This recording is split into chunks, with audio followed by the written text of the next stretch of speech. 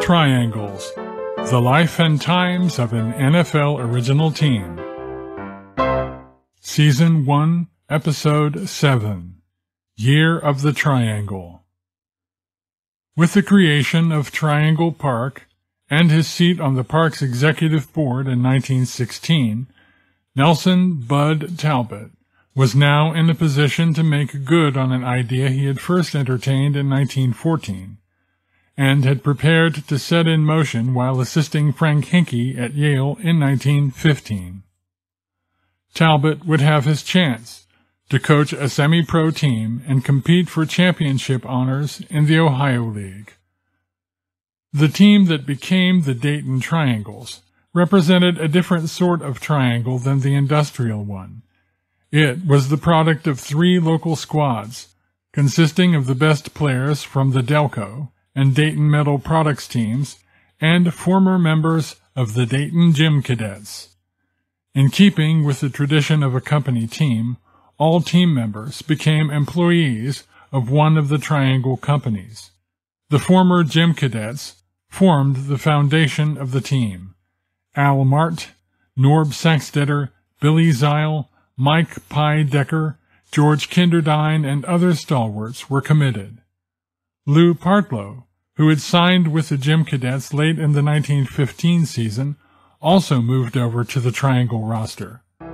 Lou was cut from a slightly different cloth than some of the other players were. He used to train by running through woods near his home. He would pretend that trees were would-be tacklers and zigzag around them. Occasionally, though, he would lower his shoulder and hit one. One game day, Coach Talbott encountered Partlow running and told him not to tire himself out before the game. Partlow responded that running was the only way he knew how to get loose. While others played baseball, basketball, or both outside of football season, Lou boxed. Of the regulars, only Babe Zimmerman, who had famously retired and then unretired in 1915, was uncertain of playing in the weeks leading up to the opening of the 1916 campaign. Observers speculated that Talbott, the former All-American, might take the field himself. Since the Triangle companies had just acquired the land for the new Triangle Park in August, there was insufficient time to create a proper playing venue at the site. The Triangles would therefore play their home games at Westwood Park. The new team was touted as a sort of Dayton dream team, with the Daily News calling it, quote, one of the greatest semi-pro 11s ever formed here. Mike Riddell, hired by the Triangle Park Committee to manage the park's operations, managed the team as well. Despite the high expectations for the new Triangles under Talbott's coaching, the play in the 1916 opener was somewhat ragged.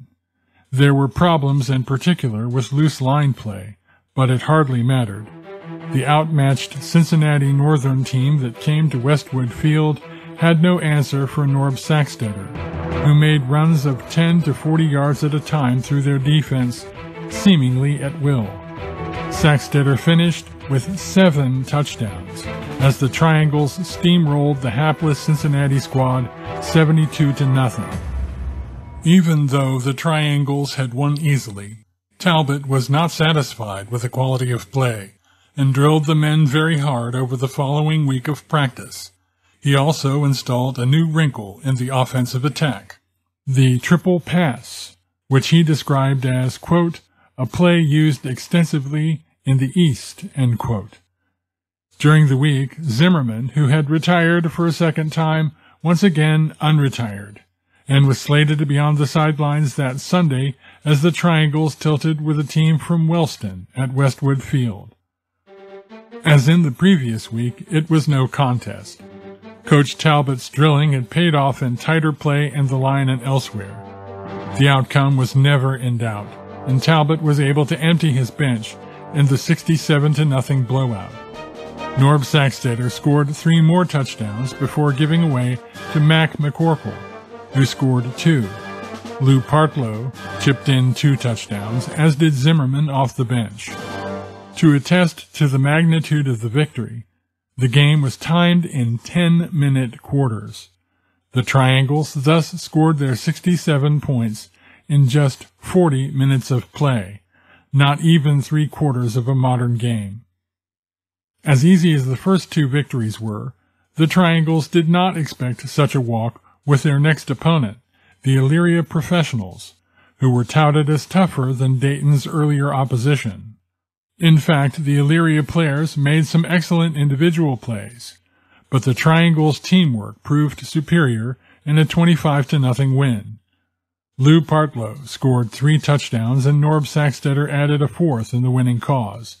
Zimmerman was forced out of the game with an ankle injury. Having worked out the kinks in the friendly confines of Westwood Field, the Triangles now faced their first real test, a road game in Detroit against the highly touted Detroit Heralds. On Saturday night, October 21st, the team boarded a special sleeper car for an overnight train ride to Michigan. The next afternoon found them in front of the largest crowd any of the players had ever encountered. An estimated 7,000 hostile fans attended the game that Sunday at Navin Field, eventually renamed Tiger Stadium. Lou Partlow later credited Coach Talbott who had played before much larger crowds at Yale away games, for not letting the local crowd intimidate his men. Not only did the Triangles win the game, they won over the Detroit football fans and sports writers too. Talbott's men were on the board within 15 seconds. Norb Sacksteder took the opening kickoff at his 10-yard line. He then bobbed and weaved 90 yards for the first score, stunning the Detroit crowd. The extra point made the score 7 to nothing triangles, likely before some of the home fans had sat down. In the second quarter, a Detroit touchdown reception by Dick Shields netted the first points ever scored against the Triangles, tying the score at 7 all. Once again, Al Mahrt had the answer. Mahrt threw what appeared to be a touchdown pass to Sacksteder, but the officials ruled that Norb stepped out of bounds at the Detroit 10 yard line. Then Mahrt threw a low dart that Partlow snagged with a diving grab. Untouched, Lou leapt up and dashed past the goal line for what would become the winning score. The highlight of the scoreless second half was a defensive stand by the Triangles in the third quarter, after Detroit had worked the ball to the Dayton four-yard line. Partlow's touchdown reception held up, and the Triangles came away with a 14-7 victory. For football fans in Detroit, the sophisticated play of the Triangles was a revelation. In the words of Detroit Free Press sports writer Geo McGonigal, it was the best game of football the Navin patrons have seen this season. Sacksteder is the most sensational back that has ever been here, and he was worth the gate tariff alone. Mahrt is a wonderful quarterback. Describing Mahrt's throws, McGonigal wrote that they came out like a rifle shot, and had the Dayton ends and backs been a little keener on the catch, there is no telling what might have happened to the Herald cause. He gets the ball to his man faster and with more accuracy than anybody who has ever raced around on the Detroit football greens. Of Coach Talbott, McGonigal wrote that he demonstrated what good sportsmanship in a visiting coach means. He never once questioned a decision and upheld referee Lane in all his rulings discouraged coaching from the sidelines, and in many ways was a delightful contrast to other tutors who have been here. As good as the Triangles had become at football, though, there was one obstacle to the team's long-term success that practice could not overcome. One that would prove more difficult to overcome as time passed. Economics. Writing in the Dayton Daily News lead up to the Triangles' next game against Altoona, Pennsylvania, Jerry Connors expressed it this way.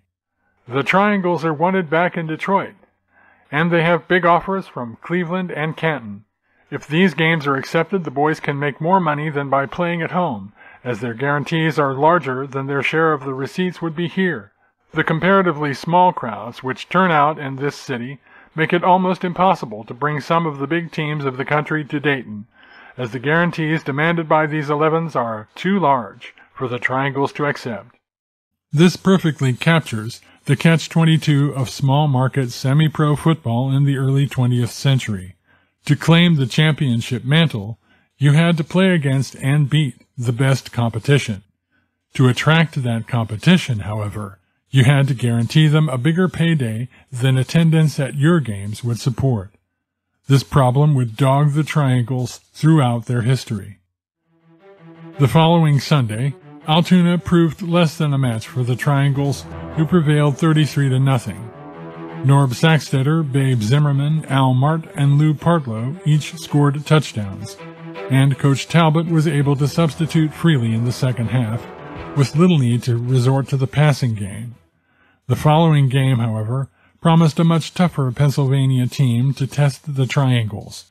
The Pitcairn Quakers had previously lost narrowly in low-scoring games to upstate Ohio powers Canton and Cleveland, and would thus represent a real litmus test for Dayton.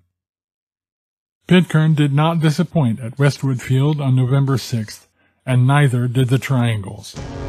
The Quakers keyed on stopping Norb Sacksteder on the ground, and they mainly succeeded. However, the versatile Saxey did his most critical damage as a receiver, catching a pass from Mahrt in the first quarter for the only touchdown of the day. Pitcairn managed a 45-yard field goal in the fourth quarter, but were unable to add to their total as the Triangles held on for a 7-3 win. The Pitcairn field goal represented the first points ever scored against the Triangles on their home field. It was easily the best game of the season. Unfortunately, only about 2,000 fans came out to see it.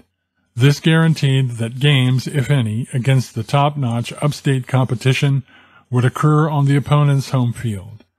As it was, the undefeated Triangles would have to remain so throughout their remaining schedule to harbor any hope of interesting, say, the powerful Jim Thorpe-led Canton Bulldogs.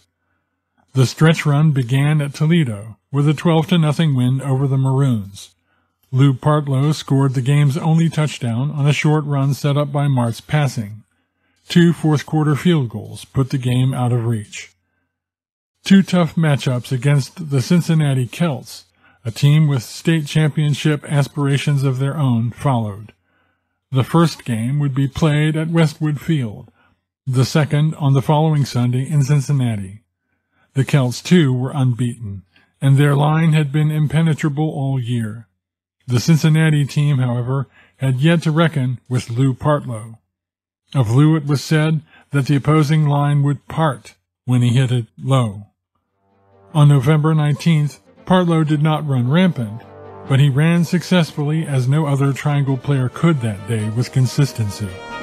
His second quarter touchdown set up, as was so often the case by Mahrt's passing, provided the only score, and the Triangles came away winners by a 6 to nothing count.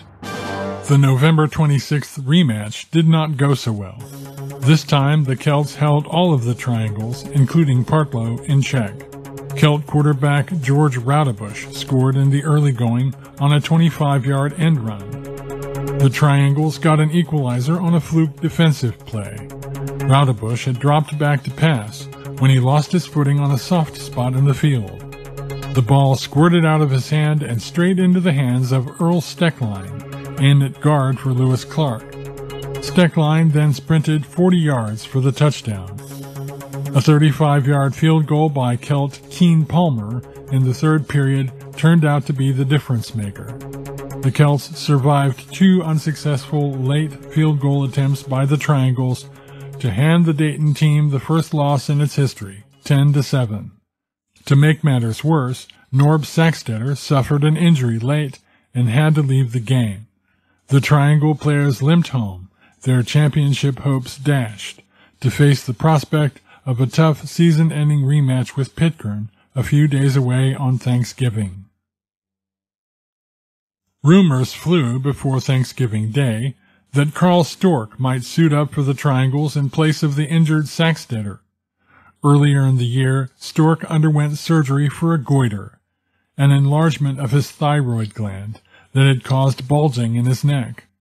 Following his recovery, Storck went to Chicago to enroll in a YMCA training program for athletic directors, and had recently returned home for the holiday, sparking the buzz about his potential participation in the game. In fact, Carl Storck did participate in the second Pitcairn game, in the officiating crew as head linesman. As it turns out, the Triangles did just fine without Storck or Sacksteder. The Pitcairn line was not up to the quality it had shown in their first matchup, and Lou Partlow took advantage, scoring two touchdowns on the ground. Mahrt added a touchdown pass to end Lee Fenner. The Quakers got an early field goal and a defensive score on a fumble recovery in the Dayton end zone, but the Triangles were never seriously threatened and closed out the season with a 20-9 victory.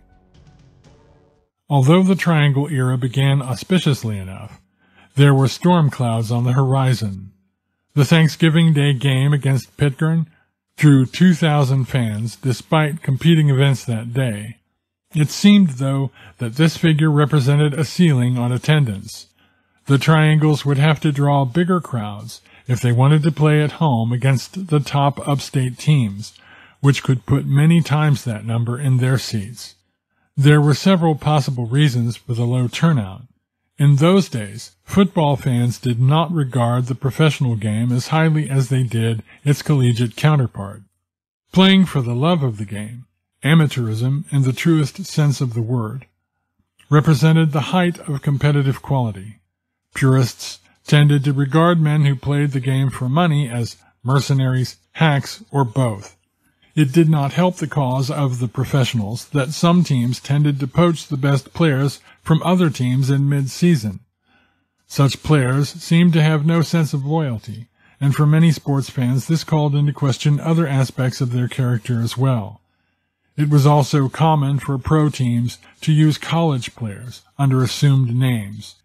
Coach Talbott, given the opportunity to write a special column for the Dayton Daily News at the end of the season, attempted to address concerns about the players.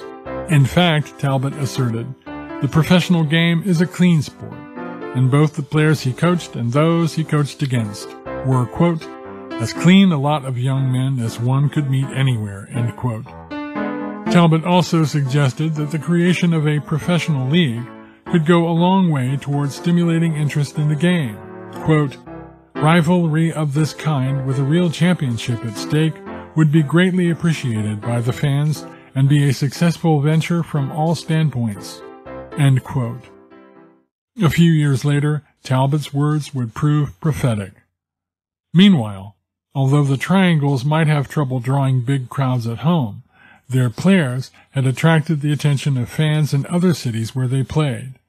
It seemed quite clear that the best Dayton players could play anywhere they wanted.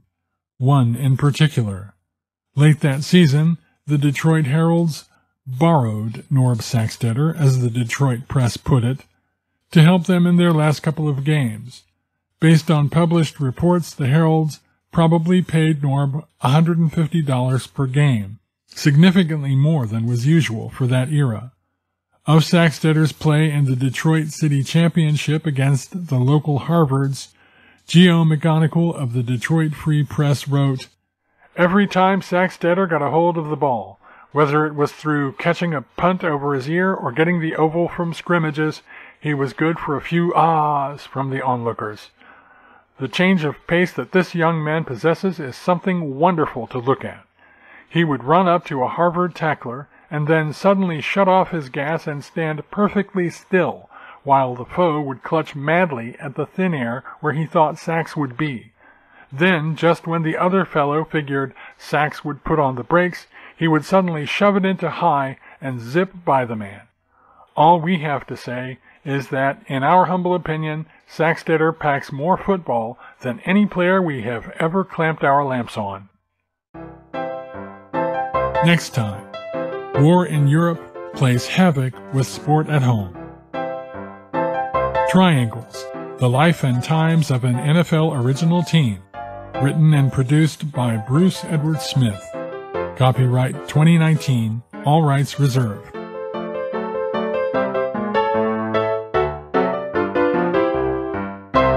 For more episodes and extras, go to DaytonTrianglesPodcast.com.